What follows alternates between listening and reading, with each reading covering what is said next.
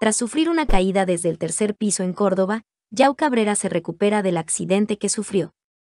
El youtuber uruguayo fue dado de alta y se encuentra en su casa siguiendo la recuperación. Hace unas horas, él mismo dio un comunicado en su Instagram confirmando que va a pelear contra el chino Maidana en Dubái. Ya me encuentro en mi casa. Muchas gracias por el apoyo a todas las personas. Desde mis amigos, familiares y la prensa. Decirles que estoy un poco asustado con lo que pasó y que por el momento no voy a dar declaraciones con lo sucedido.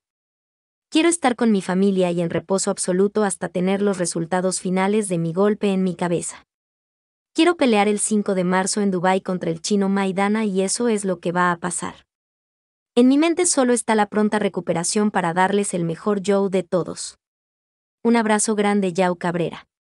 Así, se confirma que la velada de boxeo entre el youtuber y el exboxeador profesional argentino se llevará a cabo en marzo.